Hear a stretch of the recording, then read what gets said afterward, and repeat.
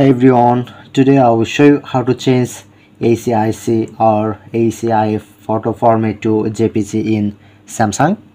So at first open your file manager and select image.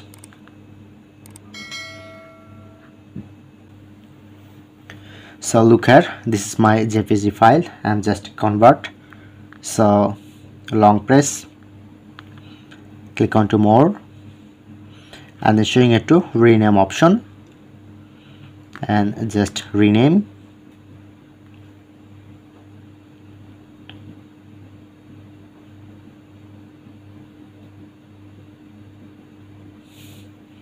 And press on.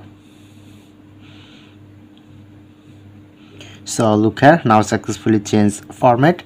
And the same if you want to get back jpg just rename to jpg